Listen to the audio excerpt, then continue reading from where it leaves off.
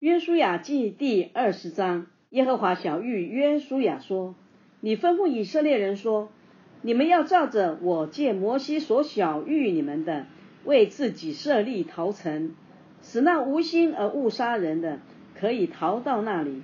这些城可以做你们逃避暴血仇人的地方。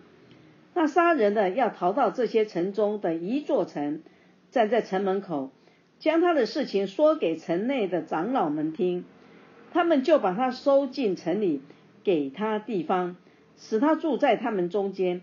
若是报血仇的追了他来，长老不可将他交在报血仇的手里，因为他是素无仇恨、无心杀了人的。他要住在那城里，站在会众面前听审判。等到那时的大祭司死了。杀人了才可以回到本城本家，就是他所逃出来的那城。于是以色列人在拿弗他利山地分定加利利的基低斯，在以法莲山地分定事件，在犹大山地分定基列亚巴。